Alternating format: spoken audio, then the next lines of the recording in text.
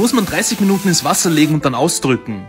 Ja Leute, weiter geht's mit dem Gaming Room und danke für den Tipp, Bro. Ja, ich habe diese Akustik-Schaumstoffmatten hier ausgepackt von Amazon und die sahen so richtig zerdrückt aus. Dann habe ich sie einen Tag liegen gelassen, ist schon ein bisschen besser geworden, aber die sehen noch immer so richtig billig aus und jetzt werden die mal geduscht.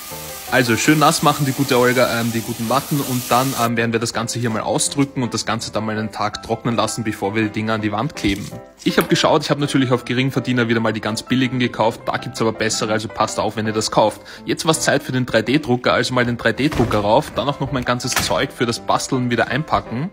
Ich habe die Tage ein paar Sachen zu reparieren. Ich habe eigentlich null Zeit dafür, aber ich werde es irgendwie machen. Aber davor muss mein ganzes Zeug natürlich wieder mal hier sortiert werden. Ich habe nämlich gar keine Ahnung mehr, wo die ganzen Werkzeuge sind.